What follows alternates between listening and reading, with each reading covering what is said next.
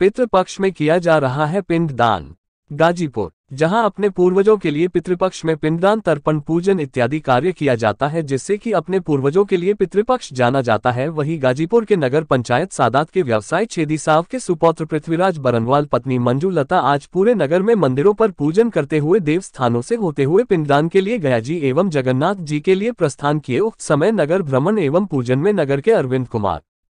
कृष्ण कुमार संजय प्रताप मनीष यादव दुर्गादास अजय प्रताप यशवंत वर्मा आशीष मोदनवाल राजू मधेशिया मिसु गुप्ता मदन मोहन मधेशिया सहित काफ़ी संख्या में नगरवासी मौजूद रहे। District reporter Ajit Modanwal Ghazipur.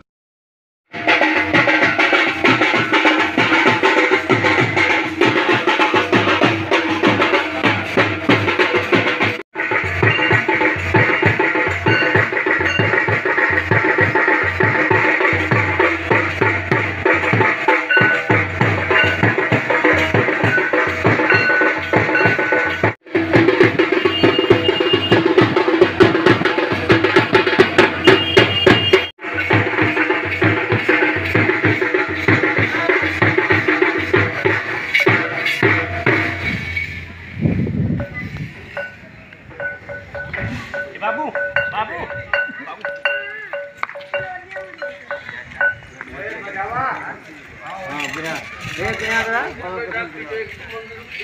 अब बैठे जाए। चलो।